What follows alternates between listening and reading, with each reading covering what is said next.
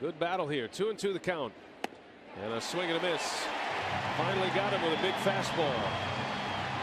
10 pitch at bat and Morgan is retired. And it looks like he went after ball four a little bit up in the zone but too close to take.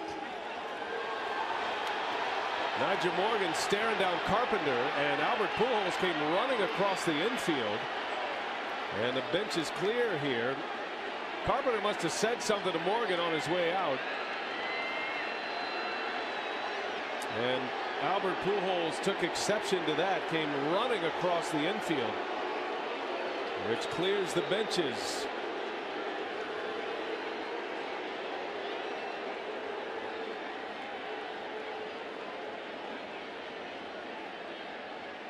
Nyjer kept walking down the third baseline, staring down Carpenter, waiting for him to turn around.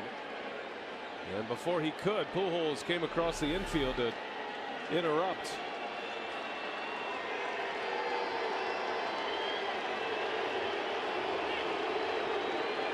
And right about here, Pujols comes across. And then Nyjer Morgan, never afraid of a shouting match. I'm not sure what precipitated all that. A little frustration on Nyjer's part.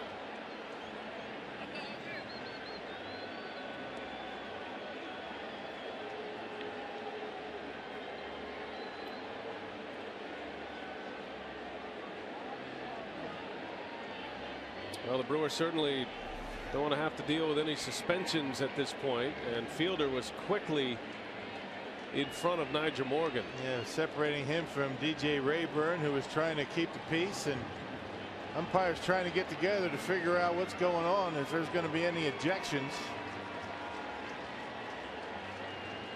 Looked like a whole bunch of nothing out there, just a bunch of pushing and shoving. Derryl Cousins, the crew chief. And I'm not sure. Is he making an ejection here? Did he toss Morgan? Ron Roenicke's coming out.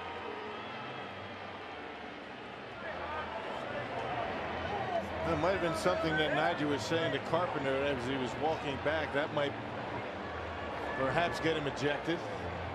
Derryl Cousins, the crew chief, is trying to